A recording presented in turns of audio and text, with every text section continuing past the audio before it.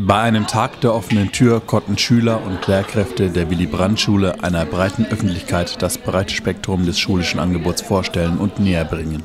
Ein wichtiger Tag im Schuljahr an der Willy-Brandt-Schule, weil es hier die einzige Möglichkeit ist, zu der sich alle sieben Berufsfelder, die an der Willy-Brandt-Schule auch vertreten sind, präsentieren. Wir haben, und das ist äh, letztendlich an jedem äh, Berufsschulstandort immer das Gleiche, keine äh, Konkurrenz zu anderen beruflichen Schulen. Das heißt, äh, die Berufsfelder und die Ausbildungsberufe, die an der Willy-Brandt-Schule ausgebildet werden, die gibt es dann, was Gießen betrifft, nur an der Willy-Brandt-Schule. Andere Schulen, andere Berufe oder Berufsfelder.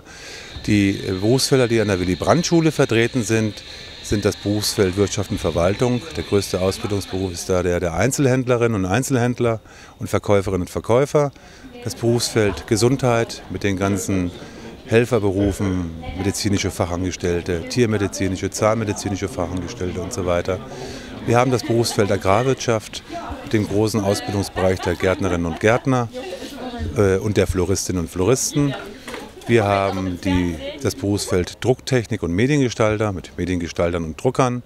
Das äh, Berufsfeld Farbtechnik und Raumgestaltung mit Malern und Lackierern, Raumausstatterinnen, Raumausstattern, Polsterinnen und Polstern und last but not least das äh, Berufsfeld Textiltechnik und Gestaltung. Wir bilden, bilden hier beispielsweise vollschulisch die Maßschneiderinnen aus. In unserem noch gibt es dafür nur einen Arbeitstitel, wir nennen es Bistro, andere nennen es Gastrowürfel.